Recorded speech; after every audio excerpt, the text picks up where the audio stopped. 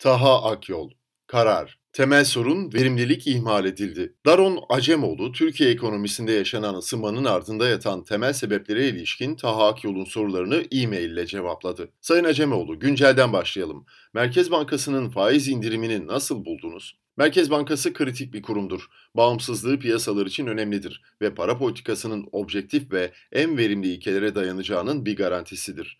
Maalesef Türkiye'nin Merkez Bankası uzun bir süredir en azından 2011'den bu yana bağımsız bir durumda değil. Öte yandan hükümetin para ve faiz politikasını dikte etme gücü artmış durumda. En son faiz oranlarının düşürülmesini de bunun bir işareti olarak görüyorum. Bu ekonomiye yardımcı olacağını da sanmıyorum. Merkez bankalarının bağımsızlığı bütün dünyada niye önemli? Halka karşı sorumlu olanlar politikacılar değil mi? Bu iyi bir soru. Genel fikir Merkez Bankası bağımsızlığının olmaması durumunda politikacıların kısa vadede kendilerine yardımcı olacak ama ekonomiye uzun vadede zarar verecek politikalar izleyeceği yönündedir. Kanıtlar da bu endişeyi genel olarak haklı çıkarmaktadır. Politikacıların maliye politikasından iktisadi düzenlemelere kadar ekonomi üzerinde etkili olacak mekanizmaları zaten vardır. Dolayısıyla siyasi tercihleri ekonominin genel durumunu zaten etkiler. Bu yüzden istikrarsızlıktan, yanlış yönetimden ve ekonomik krizlerden sorumludurlar. Temel hatalar neler? Türkiye'yi bugünkü kriz durumuna getiren temel ekonomik politika hataları nelerdi?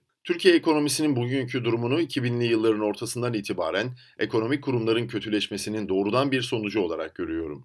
Türkiye 2002-2006 yılları arasında nispeten yüksek kaliteli bir büyüme sağlamıştır verimlilik artışı, geniş tabanlı yatırımlar, doğrudan yabancı yatırımların ülkeye güçlü bir şekilde akışı sağlanmış, yolsuzluk ve kötü yönetimler engellenmişti. Ancak tüm bunlar 2006'dan bu yana tersine çevrildi. Ucuz likidite dahil uluslararası şartların çok müsait olması sayesinde Türkiye sermaye çekmeye, büyümeye devam etti. Ancak bu tarz büyüme sürecinde verimlilik artışı olmadan ve ekonomik verimsizlik ve risk birikmeye başladı. Bu politikaların böyle bir kriz doğuracağı görülemedi mi? Göz göre göre kısa vadeli politik beklentilere odaklanarak mı bu uygulamalar yapıldı? Bunu bilmek zor. İki tamamlayıcı faktör görüyorum. Politikacıların bu sorunlarla yüzleşmesini engelleyen kısa vadeli seçim hedefleri ve sorunlar karşısında politikacılara çok cazip gelen yine kısa vadeli diğer bazı faktörler. Aslında bu sorunları onlar yarattı. Ek olarak hükümet yönetiminde bu sorunlara işaret edecek bağımsız teknokrat ve bürokratların cesur seslerin eksikliği Türkiye'yi yönetenlerin sorunları görmezden gelmesini kolaylaştırdı. Koç Üniversitesi'nin Rahmi Koç Bilim Madalyası'na layık görüldünüz. 25 Aralık 2017'deki ödül töreninde 1-2 yılda kriz çıkacağını söylemiştiniz. Öyle oldu. Veri ya da bulgular neydi ki bu tahminde bulundunuz? Ekonomik tahminde bulunmak zordur ve hatta tehlikelidir. Benim öngörüm iki unsura dayanıyordu. Bir, Türkiye ekonomisinin derin ve zarar verici yapısal sorunlarını görüyordum. İki, hükümetin yeterli teşvik ve harcamasıyla ekonominin 18 ay kadar daha ılımlı bir şekilde büyümeyi başararak krizi geciktirebileceğini düşünmüştüm. Asıl sorun verimlilik. Temel bir sorun olarak Türk ekonomisinde verimlilik artmıyor diyorsunuz. Bunu biraz açar mısınız? Verimlilik özellikle ekonomistlerin çok faktörlü verimlilik dedikleri şey refahın kaynağıdır. Çok fazla yatırım yapmadan giderek daha fazla üretmemizi sağlayan şey budur. Örneğin bir ekonomide yılda %2 oranında çok faktörlü üretkenlik artışı varsa bu daha fazla işçi istihdam etmemesi veya makine ve sermayeye yatırımını artırmaması durumunda dahi yine de yılda %2'lik bir büyüme oranı elde edeceği anlamına gelir. Verimlilik ekonomik büyümenin en güçlü kaynağıdır. Daha iyi teknolojiler, daha iyi organizasyonlar ve daha iyi fikirler üretkenlik artışının temelini oluşturur. Ancak ek olarak bir ekonomi eğer verimlilik artışına ulaşmıyorsa bu onun derin sorunlardan muzdarip olduğu anlamına gelir. Türkiye ekonomisi için bu kadar endişe verici olan şey de budur. 2006'dan bu yana esasen verimlilik artışımız olmadı. Ekonomi en önemli hayat damarlarından birinden kesilmiş oldu. Türkiye'de kaynakların önemli ölçüde rant ve inşaata gittiği görüşü var. İş dünyasında da bu ifade ediliyor. Siz ne dersiniz? Evet kesinlikle doğru. Uluslararası standartlara göre zaten düşük olan Türkiye'deki yatırımın büyük bir kısmı inşaata gidiyor. Bu açıdan bakıldığında üretimde çok az verimlilik artışı olması şaşırtıcı değildir. Verimliliğin yolu nedir? Verimliliği artıracak politikalar neler olabilirdi? Birkaç tanesini sayayım. Daha iyi üretkenlik elde etmek istiyorsanız daha iyi teknolojiye ihtiyacınız var. Daha iyi teknoloji elde etmenin etkili bir yolu da yabancı yatırımları, özellikle de ortak girişimleri ülkeye çekebilmek. Bu gerçekleşmedi. Daha iyi verimlilik elde etmek istiyorsanız yatırımı yapacak doğru şirketlere de ihtiyacınız var. Yolsuzluk ve belirsizlik özellikle politikacıların desteğine sahip olmayanların yapabileceği yatırımlara engel oluşturuyor. Biz bu açıdan da başarısız olduk. Daha iyi verimlilik elde etmek istiyorsanız bir başka önemli kaldıraç da yatırımdır. Ancak daha önce de belirttiğim gibi düşük yatırım olduğunda ve bunun önemli bir kısmı da inşaata gittiğinde ekonominin en verimli sektörlerinde yeterince yatırım gerçekleşmiyor. Gecikerek hazırlanan 11. 5 yıllık planda verimliliğe odaklanan, sanayi önceleyen bir politika öngörülmesini nasıl değerlendiriyorsunuz? Planı nasıl buldunuz? Bence bu konuda çok söz söyleniyor ama eylem gerçekleştirilmiyor. Türkiye'de düşük verimlilik artışının gerçek sebepleriyle ilgilenen politikalar göremiyorum. Türkiye'nin kısa dönemler hariç tanzimattan beri sorunu dış ticaret açığı. Kriz döneminde açığın kapanması sağlık işareti mi? Türkiye dış ticaret açığı sorununu nasıl çözer? Bu da yine verimlilik artışıyla ilgili. Sağlıklı bir verimlilik artışı varsa bu ihracatı artırır.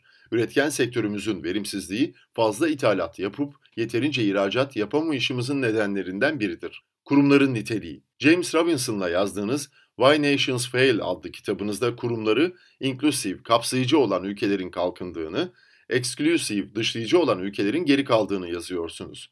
Tarihe de böyle bakıyorsunuz. Bunu ortalama vatandaşa nasıl anlatırsınız? Bunu basit bir şekilde şöyle ifade edebiliriz. Refahın kökleri kurumlardadır. Ekonomiyi nasıl örgütlediğimizi onlar belirler. Dışlayıcı kurumlar dar bir grubun kontrolündedir, yolsuzluğa bulaşmışlardır, politikacıların aşırı gücü altındadırlar, mülkiyet haklarını korumakta zayıftırlar. Bu durumda iş dünyası belirsizlikten korkar ve yatırımdan kaçar. Rekabetin adil olmamasından çekinir. Bu demektir ki nüfusun önemli bir kısmı ekonomide dezavantajlı durumdadır. Çünkü ya doğru eğitime ya da doğru fırsatlara sahip değildirler. Buna karşı kapsayıcı kurumlar bu tür tekelleri kıran, yolsuzlukları engelleyen, işletmelerin ve işçilerin mülkiyet haklarını koruyan, gelirlerine bakılmaksızın herkese eğitim veren ve toplumda geniş çapta fırsatlar sunan kurumlardır. Bunlar sadece dar seçkinler, büyük işletmeler ya da iktidarlarla arası iyi olan insanlara değil, herkese fayda sağlayan, dolayısıyla verimlilik artışını ve büyümeyi sağlayan kurumlardır. Ancak ekonomik kurumlar boşlukta oluşmuyor kapsayıcı ekonomik kurumların kapsayıcı politik kurumlar tarafından korunmasına ihtiyaç vardır. Yani herhangi bir grubun veya bireyin aşırı güçlü olmasını önleyen, sıradan insanlara imkan sağlayan ve iktidarı kullanma konusunda denetimler, dengeler ve sınırlamalar getiren politik kurumlar. Buna karşılık dışlayıcı ekonomik kurumlar, dışlayıcı politik kurumlarla beraber hareket eder.